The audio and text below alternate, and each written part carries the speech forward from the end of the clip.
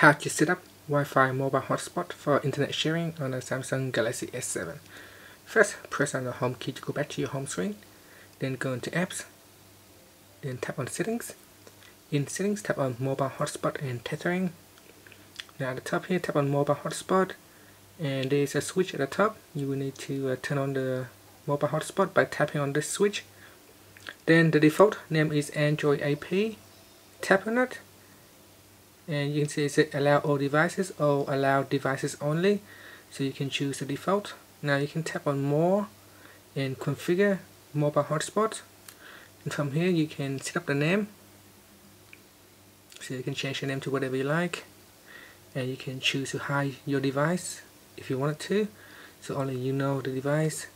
And you can tap on the security type.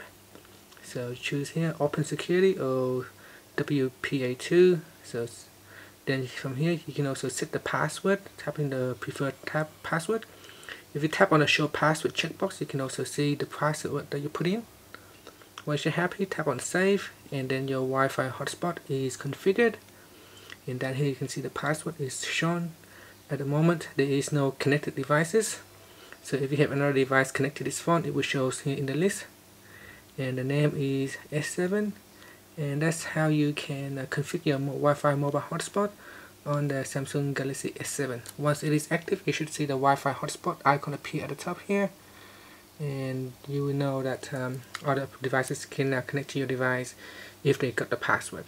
And that's it. Thank you for watching this video